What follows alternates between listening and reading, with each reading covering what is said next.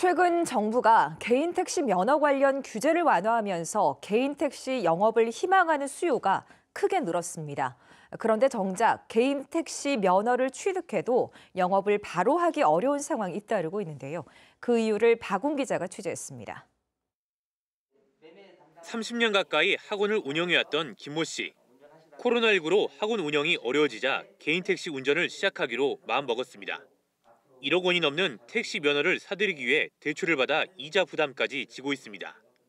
지금 코로나로 인해서 아이들이 반토막 이상이 어, 돼서 한 열대 명 있습니다, 현재. 지금 이 시기를 넘기기 위해서 어, 제가 개인 택시를 선택한 이유입니다. 정부는 올해부터 사업용 자동차 운전 경력이 없더라도 5년 동안 사고를 내지 않았다면 누구나 개인 택시를 운전할 수 있도록 관련 규제를 낮췄습니다. 하지만 문제가 생겼습니다. 개인 택시 영업을 하려면 교통안전공단이 주관하는 교육을 꼭 받아야 하는데 지난해 말 교육 가능 인원 1,600명이 순식간에 차버렸습니다. 전국에서 어, 저처럼 희망하신 분들이 엄청 많이 했기 때문에 어, 한 10분 안에 다 끝났다라고 하시면 되고 6개월치가 다 교육이 다 끝났습니다.